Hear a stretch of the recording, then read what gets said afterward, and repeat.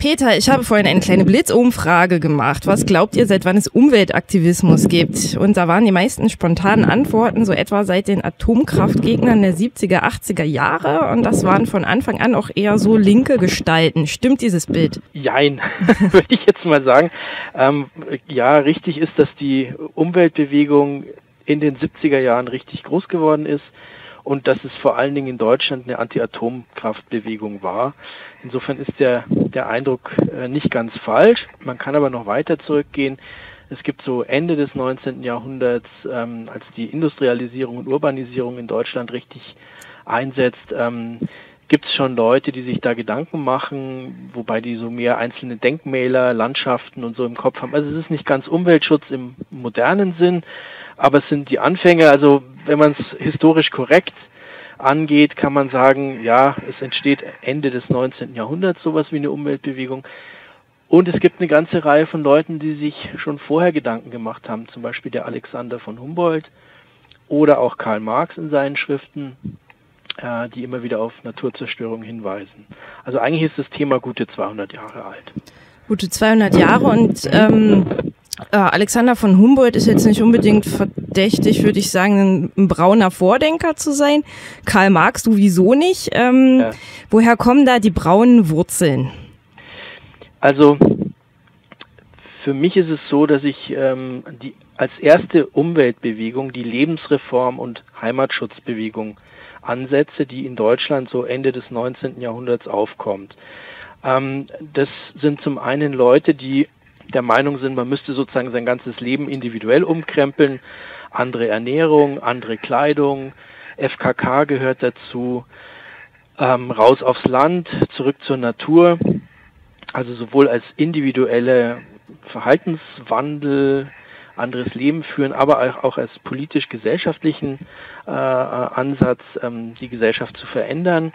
Und das Problem an dieser Lebensreformbewegung ist, dass die halt äh, einen konservativ-reaktionären bis völkisch-antisemitischen Background hat und dass da immer die Vorstellung mitschwang, dass diese moderne Gesellschaft, zum Beispiel auch die moderne Medizin, das Impfen, ähm, würde zu einer Degeneration der Menschheit, vor allen Dingen der weißen Rasse, der germanisch-deutschen Rasse beitragen und deswegen müsste man das stoppen. Also an einem Beispiel des Impfen, Tuberkuloseimpfung, war verpönt in diesen Kreisen, weil man sagte, die, man würde der Natur ins Handwerk pfuschen und ähm, diejenigen, die sozusagen erbbiologisch minderwertig sind, die würden durch solche Krankheiten ausgelöscht, die könnten sich nicht fortpflanzen. Das würde sozusagen eine äh, Verbesserung der, des menschlichen Genmaterials ähm, ähm, mit sich bringen und da pfuscht man jetzt der, der Natur ähm, ins Handwerk. Also man sieht, da gibt es so rassenhygienisch-eugenische ähm, Begründungen und deswegen ähm, kann man diese Lebensreformbewegung und auch den Heimatschutz ähm, der Heimat verstanden hat, so als ähm, Baustein für ein Nationalgefühl, für das, also, also das kleine Vaterland, ähm, also sehr stark nationalistisch konnotiert und deswegen ähm, sind diese Anfänge der Umweltbewegung politisch rechts zu verorten. Ähm, Impfgegner gibt es jetzt, weil du sie gerade angesprochen hast, als Beispiel gibt es ja heute auch noch oder beziehungsweise mhm. wieder. Ja. Stehen die da so mehr oder weniger, würdest du sagen, in direkter Tradition zu diesen Anfängen oder kommt es noch aus anderen Ecken? Naja, also ich denke mir, dass es wahrscheinlich drei Motivationen gibt ähm, für Impfgegner. Das eine ist, eine gewisse Verunsicherheit, ähm, auch das Wissen darum, dass die moderne Medizin auch mal falsch liegen kann, Ängste vor der Pharmaindustrie. Ich meine, wir hatten inzwischen sowas wie Kontergan-Skandal und so. Ja. Also ähm, das heißt, es hat, das ist so ein Aspekt, wo ich mir denke, es hat schon einen gewissen rationalen Kern, dass man da vorsichtig ist.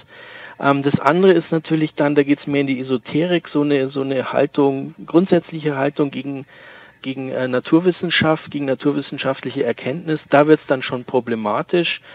Und ähm, was man dann schon auch noch findet bei Impfgegnern ist so die Vorstellung, ja, also der Körper muss sich kräftigen, der muss an Herausforderungen wachsen, der muss eben auch an Bakterien und Viren wachsen. Ähm, das ist sehr stark auch, ähm, findet man das bei anthroposophischen Impfgegnern. Und da gibt es mhm. tatsächlich so eine gewisse Traditionslinie, die da ähm, zurückgeht auf dieses, äh, auf diese Impfgegner im späten 19. Jahrhundert, auf diesen lebensreformerischen Kontext.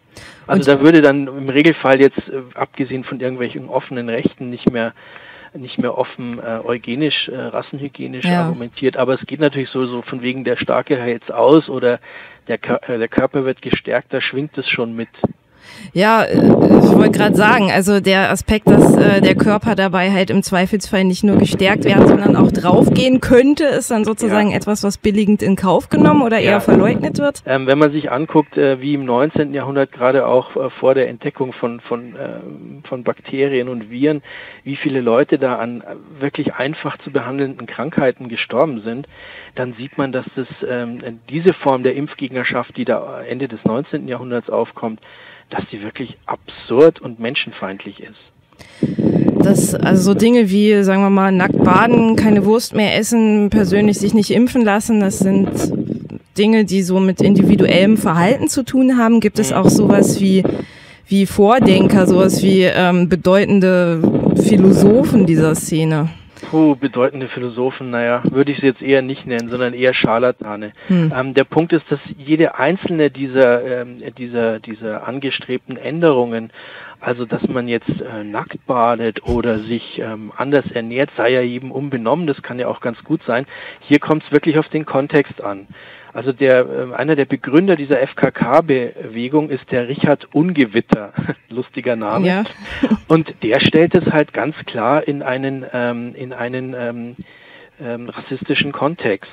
Also er sagt, die deutsche Frau, wenn sie öfter einen deutschen Mann nackt sehen würde, dann würde sie nicht den Ausländern hinterherlaufen.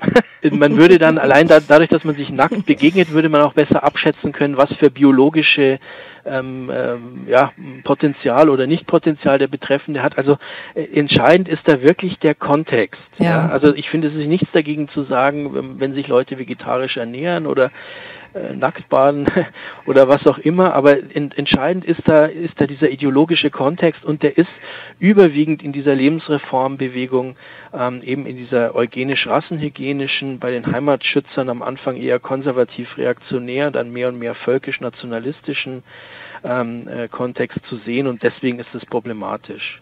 Und äh, wie gesagt, äh, Umweltschutz jetzt im modernen Sinn äh, haben die sowieso noch nicht am Hut. Das sind so Anfänge und es findet auch nicht wirklich eine Reflexion darüber statt, ähm, woher, was denn nun eigentlich der Antrieb für Industrialisierung und Urbanisierung ist, wo man da wirklich einsetzen könnte. Also irgendeine Form von, von Kapitalismuskritik, wie sie dann ähm, ab den 70er Jahren für Teile der Umweltbewegung äh, relevant wird ähm, das fehlt da natürlich völlig. Also es gibt so kleine Ausnahmen, vielleicht die, die Naturfreunde aus dem sozialdemokratischen Spektrum, aber die sind ja nun in erster Linie auch ein Freizeit- und Tourismusverein, der jetzt nicht so direkt politisch agiert hat. Ist das jetzt eigentlich alles eher so eine Sache des deutschsprachigen Raumes?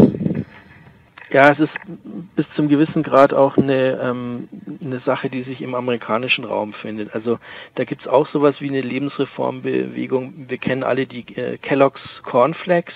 Ja. Und äh, Kellogg's ähm, war ein Lebensreformer in den USA, ganz wichtige Figur. Und der hat es auch in diesen eugenischen Zusammenhang von, von Auslese, Degeneration, äh, der Stärkere muss überleben äh, gestellt. Also da gibt es in den zwischen USA und, und Deutschland zumindest oder im deutschsprachigen Raum muss man eigentlich sagen, gibt es schon gewisse Parallelen. Ich würde mal behaupten, dass man dem Mainstream heutzutage nicht mehr unbedingt so, so Begriffe wie Eugenik oder wir müssen hier unsere, unsere völkische Heimat schützen oder so um die Ohren hauen kann. Wie, wie treten denn so rechte Umweltschützer heutzutage auf? Was haben die für Begrifflichkeiten?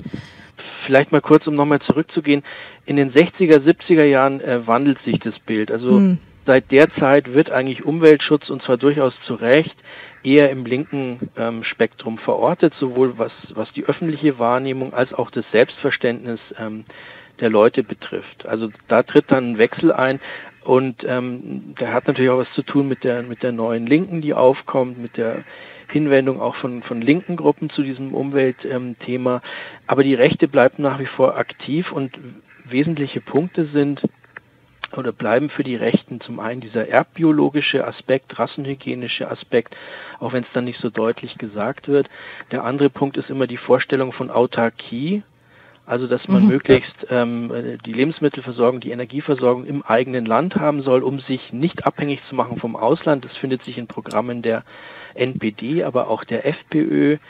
Ähm, was ganz typisch ist auch für rechte Zugänge, ist so dieser, ähm, ich nenne es mal Ökomalthusianismus, also die These, ähm, es gibt zu viele Menschen und zwar im Süden und äh, die sollten möglichst weniger werden und die darf man auf keinen Fall ähm, hier reinlassen. Also paradigmatisch ist da wahrscheinlich der Björn Höcke, der ja da 2015 diese berüchtigte Rede gehalten hat über die unterschiedlichen Reproduktionsstrategien, mhm. angeblich von Afrikanern und Europäern und dann schließt, Deutschland müsse die Grenze schließen, um die Afrikaner zu einer, wie er es nannte, ökologisch nachhaltigen Bevölkerungspolitik zu bewegen.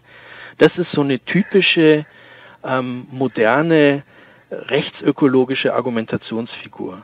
Wenn man es jetzt mal so ein bisschen nochmal äh, sich anschaut, in welchem oder welche Gruppen gibt es, äh, die so aus der rechten bis offenen Nazi-Szene aktiv sind, äh, Im Umweltbereich sind es vor allen Dingen die völkischen Siedler, von denen es ja, ja gut 1000 Leute wahrscheinlich gibt, die so aufs Land gehen, ähm, Bauernhöfe kaufen, dort als Ökolandwirte auftreten und auch versuchen vor Ort dann das gesellschaftliche Klima ähm, zu beeinflussen, in, in Initiativen versuchen mitzumischen.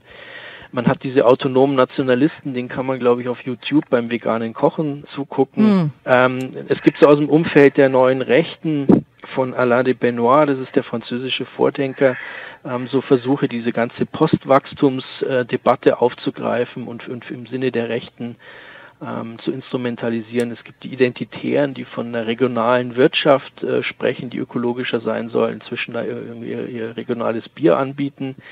Also ähm, es gibt da nach wie vor von, von rechts so einen gewissen Zugang und Versuch, dieses Thema ähm, aufzugreifen, wobei ich mir denke, da gibt es sicher zum einen Überzeugungstäter und zum anderen Leute, die es instrumentalisieren wollen. Beide sind gleichermaßen gefährlich und deswegen muss man sich mit dem Thema auseinandersetzen, versuchen die Argumentationsfiguren ähm, aufzuspüren, kennenzulernen und sich dann da klar dagegen zu positionieren. Du beobachtest diese Szene ja jetzt auch schon nicht erst seit gestern. Also dein Buch äh, Grüne Braune ist, wenn ich das richtig sehe, 2014 erschienen, ja. ist aber auch schon in den 90ern schon publiziert diese ganzen verschiedenen Strömungen, die du jetzt gerade angerissen hast, das ist ja schon sehr mhm. unterschiedlich. Also auf der einen Seite hast du dann ja schon irgendwie so ein bisschen was wie ein Versuch der Kapitalismuskritik, wenn es halt um so Postwachstum geht. Mhm. Und dann auf der anderen Seite so esoterische Anwandlungen und wiederum auch so ganz knallharten, äh, wir wollen hier unseren autarken Nationalstaat Nützlichkeitsgedanken. Ähm, werden mhm. die größer in den letzten Jahren? Naja, eigentlich ist es so, dass diese ähm, Traditionslinie aus der Lebensreform und aus dem Heimatschutz, der ist in Deutschland noch bis Anfang der 80er Jahre wichtig. Die prägen noch die Anfangszeit, die Gründungsphase der Grünen, so bis 1980. Mhm. Danach verschwinden diese Gruppen eigentlich und sind jetzt, wenn überhaupt noch vorhanden, völlig marginal. Und da ist so ein bisschen, sieht so aus, als wäre so eine Traditionslinie abgerissen. Ähm, diejenigen, die das Vakuum dann aufgegriffen haben, waren zum Beispiel die NPD oder eben diese völkischen Siedler, die ich erwähnt habe. Und im Moment haben wir ja eine Situation, wo die einflussreichsten rechten Gruppen, sprich die AfD, aber auch die Zeitschrift Kompakt, ja dezidiert antiökologisch ja. sind. Ja. Also die ähm, äh, Klimawandel, menschengemachten leugnen, da gibt es welche, die sagen, den Treibhauseffekt gibt es gar nicht. Also das hat ja ein Niveau von die Erde ist eine Scheibe, ähm, die das mit Verschwörungstheorien kombinieren. Also der sozusagen dominant, die gesellschaftlich dominante Rechte in der Bundesrepublik ist im Moment eher antiökologisch. Aber man muss eben aufpassen, weil es gibt auch in der AfD um den Konrad Adam, dem, einem der ehemaligen Vorsitzenden, und auch einige Funktionäre aus der Herbert Gruhl Gesellschaft, die da aktiv sind. Es gibt so ein kleines Ökoflügelchen. Es gibt von, ähm, von Höcke von 2014, von der Rede, äh, weiß man, dass es sich da auf Postwachstum und, und Grenzen des Wachstums bezieht. Das heißt, ähm, es gibt diese Strömung auch in der AfD und ob die auf der Dauer so klein und marginal sind oder vielleicht auch irgendwann wieder zunehmen, das wissen wir nicht. Das kann man nicht voraussagen. Da muss man nach wie vor genau hinschauen. Meine Sorge ist ein bisschen dieses, äh, diese ökologische Zerstörung ähm, ist ein gravierendes Problem, vielleicht das wichtigste Problem des 21. Jahrhunderts. Und ich denke, in dem Moment, wo das stärker wieder in die öffentliche Wahrnehmung kommt und nicht nur im Vorfeld von irgendwelchen Klimakonferenzen, dann wird die Rechte vermutlich versuchen, wieder stärker aufzuspringen. Der Philipp Stein von diesem Netzwerk 1% hat ja schon davon gesprochen, man müsse den äh, Ökologiebegriff wieder von rechts ähm, aufgreifen, weil er dem ein großes Mobilisierungspotenzial äh, zuschreibt. Und wie gesagt, aus dem, aus dem identitären Lager gibt es einige, wie den Guillaume Fay in Frankreich und den Benoit habe ich erwähnt. Mhm. Ähm, also da gibt es schon Kreise in der Rechten, die da das im, im Auge haben und da ähm, jederzeit aufspringen könnten. Und deswegen ist es wichtig, damit sich auseinanderzusetzen. Und der andere Punkt ist, äh, womit wir uns vielleicht noch stärker auseinandersetzen müssen, sind bestimmte Vorstellungen in der Umweltbewegung und innerhalb der Linken, die für die Rechten so Anknüpfungspunkte bringen. Also das eine ist der Renaissance des Heimatbegriffs, den ja auch die Grünen inzwischen wieder ganz toll finden. Ähm, das sind so Vorstellungen von Vielfalt der Kulturen, äh, Recht auf Differenz, was es auf mhm. der Rechten auch gibt. Und weil du es auch erwähnt hattest, Kapitalismuskritik, der Höcke spricht da auch davon, dass der Kapitalismus überwunden werden muss in, diesem, äh, in dieser Rede von 2014. Aber er meint natürlich unter Kapitalismus was ganz anderes. Für, für die Rechten ist es immer nur wenn dann überhaupt die Finanzsphäre, das Zinsnehmen. Die Nazis haben früher mal gesagt, das raffende mhm. Kapital, also eine Chiffre für das Judentum. Die Herrschaft der Ostküste hätte der äh, Jörg Haider dazu immer gesagt. Also die haben ein bestimmtes äh, Verständnis von Kapitalismus, äh, was mit der Marxischen Analyse von Kapital überhaupt nichts zu tun hat. Im Grunde genommen ist dieser rechte Ansatz äh, im Regelfall einer, hinter dem sich ein chiffrierter Antisemitismus versteckt. Aber auch da muss man natürlich als Linke versuchen, die Positionen zu schärfen. Und die Linke hat in den letzten 25, 30 Jahren da eher Boden verloren, indem sie von Globalisierung und Neoliberalismus spricht. Ähm, anstatt sich wirklich mit, mit Kapitalismus insgesamt zu beschäftigen. Also da sehe ich einen großen ähm, großes Einfallstor, ähm, was wichtig ist, wo man sich auseinandersetzen muss. Beobachtest du denn, dass Bewegungen, die äh, per se nicht im rechten Rand zuzuordnen sind, also meinetwegen, äh, sagen wir mal, ökologische Landwirtschaftsvereinigungen oder äh, Atomkraftgegner, ähm, Leute, die versuchen, Braunkohletagebauten zu äh, verhindern, also schaffen die das denn, sich, ähm, sich gegen rechts abzudichten? Äh, besteht da ein Bewusstsein? Ja, also das ist wirklich ein sehr großer Fortschritt gegenüber den 70er und 80er Jahren. Es ist relativ klar, als zum Beispiel rauskam, dass verschiedene Leute aus dem NPD-Umfeld und diesem völkischen Siedlerszene da versuchen, in Antigentechnik-Initiativen mitzumischen, hat man die Leute rausgeschmissen. Es gab diese Versuche von Neonazis bei der, bei dieser jährlichen Demonstration gegen die, diese Landwirtschaftsausstellung Grüne Woche in Berlin, ähm, sich da reinzuhängen in die Demonstration. Das wurde immer abgeblockt und abgewehrt.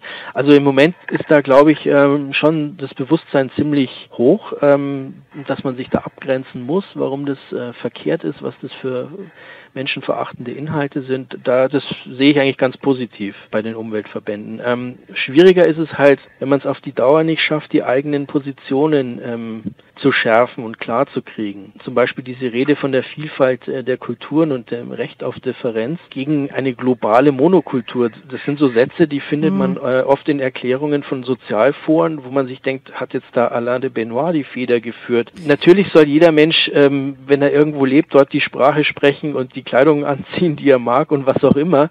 Aber einfach von einer Vielfalt der Kulturen, die es zu erhalten äh, äh gelte, zu sprechen, halte ich für falsch, weil da übersehen wird, dass ja fast alle Kulturen Kulturen innerhalb von Klassengesellschaften sind, von patriarchalen Gesellschaften, also dass da immer damit verbunden sind Ideologien und Praktiken der Ausbeutung, der Herrschaft und der Ungleichheit und da ist nichts Erhaltenswertes dran. Ja, ähm, was, was ist denn äh, damit gemeint mit so einem Begriff wie Recht auf Differenz? Was soll denn das heißen?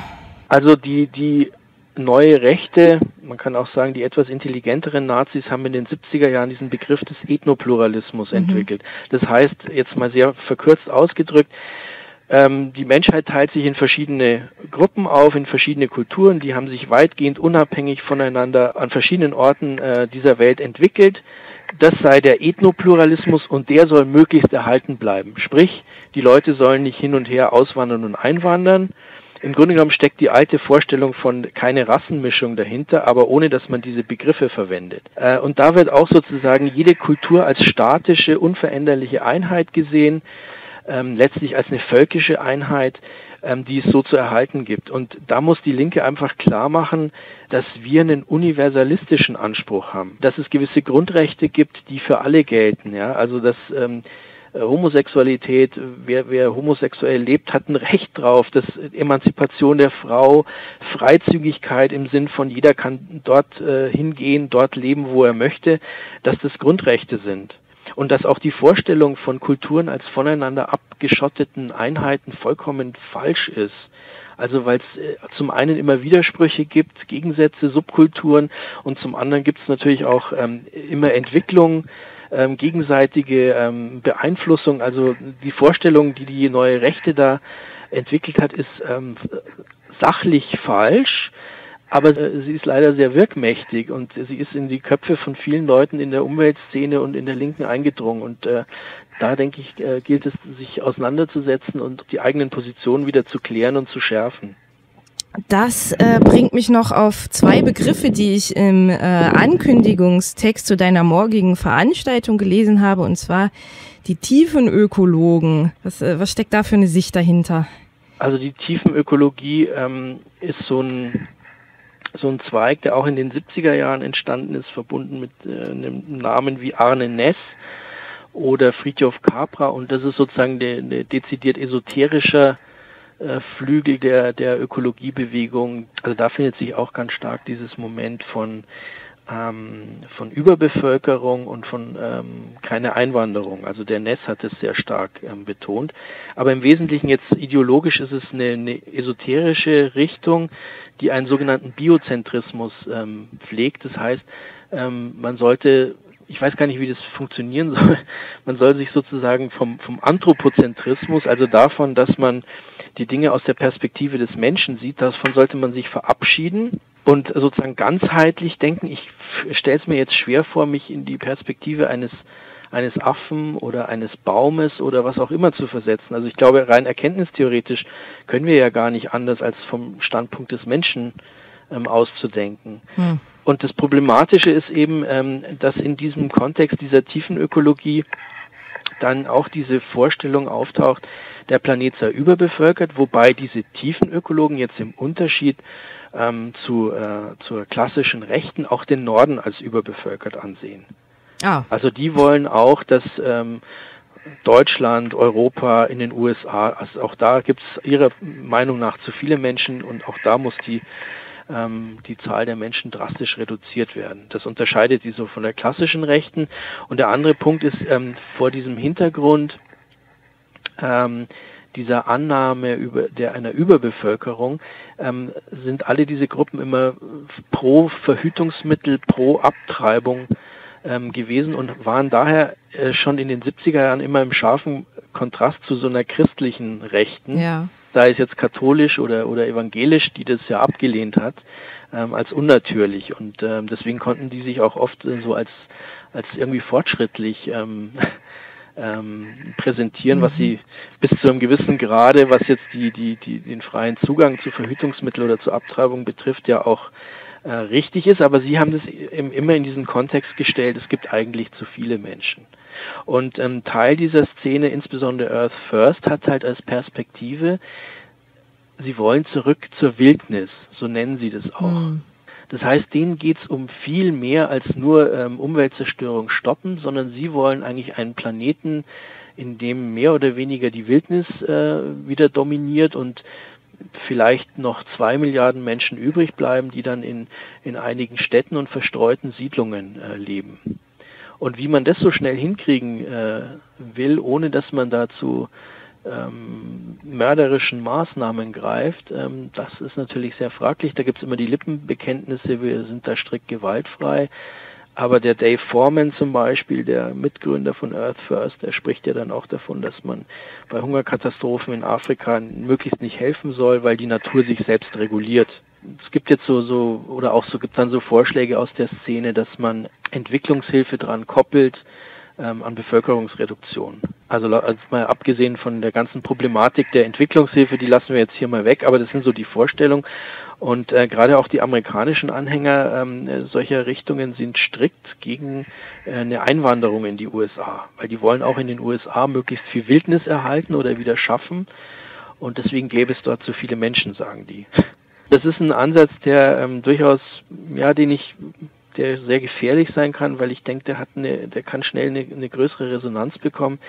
In der Schweiz gibt es eine Gruppe, die heißt Ecopop und die haben vor einigen Jahren über 120.000 Unterschriften gesammelt ähm, für so ein Konzept. Also einerseits äh, These Überbevölkerung des Planeten. Ähm, dann haben sie gefordert, man müsste sozusagen die Bevölkerungszahl der Schweiz das Maximum festlegen, eine Obergrenze und ähm, die Einwanderung entsprechend regulieren. Und die haben am Ende bei der Volksabstimmung in der Schweiz über 12 Prozent Zustimmung bekommen. Also man sieht, da ist ein ganz schönes Potenzial, ja. ähm, wenn man äh, sozusagen eigentlich äh, klassisch ähm, rassistische Haltungen, nämlich Einwanderung zu stoppen, mit diesem Ökothema und dieser Vorstellung von der Überbevölkerung, die ja gar keine Grundlage hat, insofern als eigentlich alle aktuellen Prognosen zeigen, ähm, dass sich dieses Bevölkerungswachstum reduziert und dass wir wahrscheinlich im Jahr 2100 in den Schrumpfungsprozess weltweit eintreten. Aber man sieht, dass trotz dieser, ähm, dieser Prognosen ähm, das durchaus ein Thema ist und eine Herangehensweise, die äh, eine gewisse Resonanz in Teilen der Bevölkerung hat und deswegen ist sie gefährlich.